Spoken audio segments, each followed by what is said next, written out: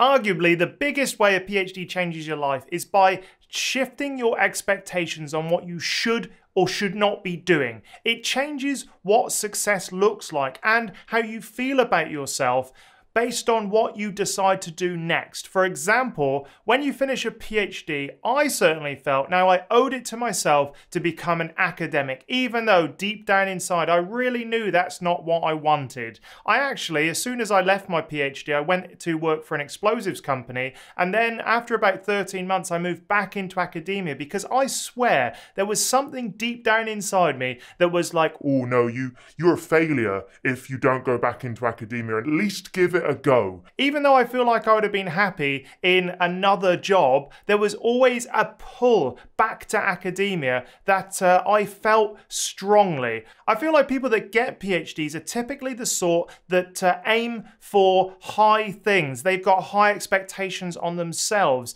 And so when you sort of finish a PhD, that's further evidence that that's what success looks like. It's kind of like extra confirmation bias that you need to work harder and uh, try try to make it not only to the top of education, but now top of academia. And uh, that can be a really hard thing to shake. Even today, I sometimes look at people in my past who have sort of been successful in academia and I feel a tiny bit of jealousy and it kind of bubbles up and I have to squash it and be like, no, I don't actually want that life. But it kind of feels like that I failed in some way still to this day, many years after my PhD. But there's no doubt that doing a PhD delayed that exploration of different jobs because I should be an academic and I owe it to myself to give it a good, hard uh, go. Otherwise, uh, it's been a waste of education and a waste of a PhD. Not the case. Clearly not the case, but it's what I think a PhD does to you deep down inside. Once you get past that kind of feeling of failure and that you should be doing something else, there's no doubt that after you've worked through those issues, that a PhD still helps you out years down the line. There's no doubt that my PhD is paying dividends, it's just in ways I didn't actually expect. So this YouTube channel wouldn't be possible without my PhD, for example. I wouldn't have been able to do my startup and been as successful at gaining grant money if I didn't have a PhD. Um, just the way it kind of trains your brain as well into being more analytical, and we'll talk about that in a moment. But essentially, the, the PhD does rewrite your life and your future because it does have value, I think, for nearly everyone. It's just not obvious right away. And it isn't like a linear kind of like, I did a PhD, therefore this is the benefit. It's much more turbulent and twisted than that. But uh, yeah, it has rewritten my life for the better. And sometimes in the early stages after getting a PhD, it doesn't feel like that. But after you've sort of like sorted out the uh, the the issues and been through the weeds of how you feel, the value's there. So if you've just got a PhD and you feel lost, keep searching because it does actually get a lot better. And I've seen it through the eyes and the experience of many, many of my friends. So keep going. The value is in there. And, you know, a PhD for me has been incredibly worth it. So keep going, look for the value, and uh, there'll be something there, just maybe in a place you didn't expect.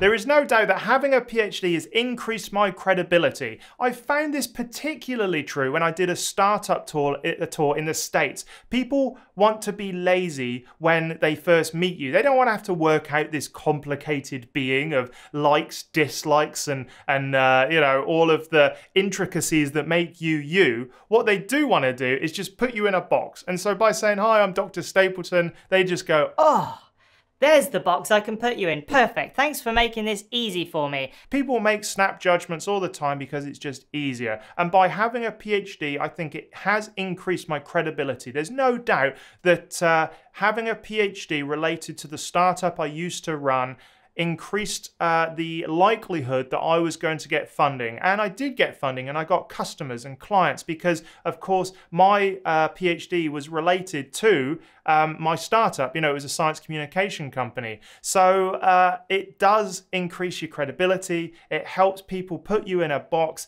And I think that process does make life a little bit easier in some professional circumstances. So, having a PhD, there are some fringe benefits, and that is only one.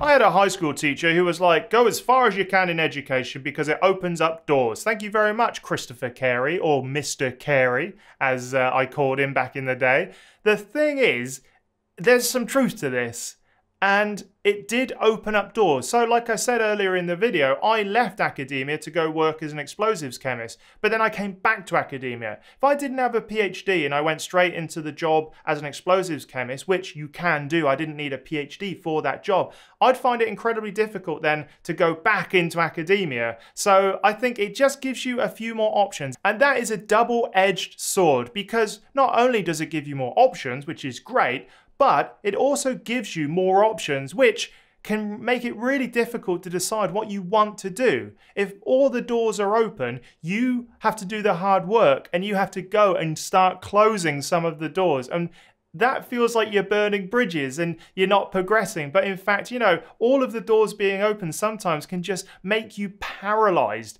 with fear and uh, too many choices you do work your way through that, and with distance from your PhD, you get over that, but it certainly doesn't help.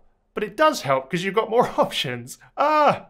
Another really important way that a PhD changed my life is by actually training my analytical mind. Now, I think I've always been the sort of person that has been drawn towards facts and figures and data for decision making, but it really sort of like focused me on that. I am very aware of when I am making decisions emotionally, and so I will go and search information. I will go and look for data and evidence to support one way or another, and that is a little trick in itself, Because you can cherry pick the data to match what you're feeling. So you do learn some tricks and some hacks to actually kind of making sure that your decision making isn't completely driven by your emotions. And don't get me wrong, there are always some little emotional sort of elements in a decision. There has to be. We're human. Well, arguably, um, PhDs are human. And there's no doubt that as a PhD student, you're trained in making sure that your decisions are driven analytically and so now I think I frustrate my partner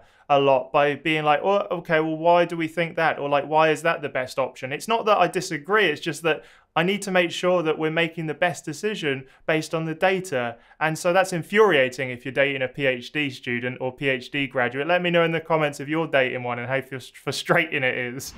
Academia is a global playing field. And so when I did my PhD, I grew up in the UK and I decided to do my PhD in Australia. And so one of the biggest ways this has rewritten my life is now I live in Australia, in Adelaide, in South Australia, and I love it.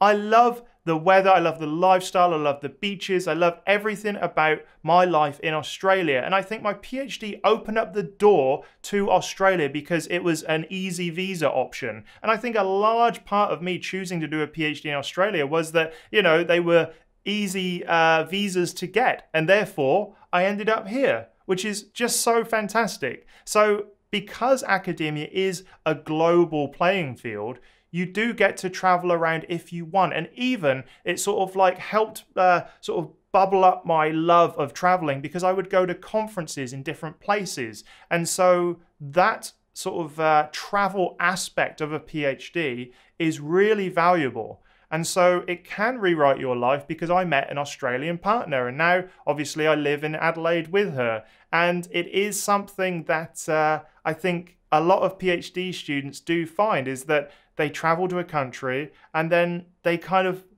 build a little life because that's that their beginning adult part of their life in another country and then they stay there. And so you can travel and it can be really difficult to move around after for postdocs and that sort of stuff because you have built up a little life. But i'm waffling. Ultimately doing a phd allowed me to live in australia and i love that. I got my australian passport recently brill or Bonza or Good day.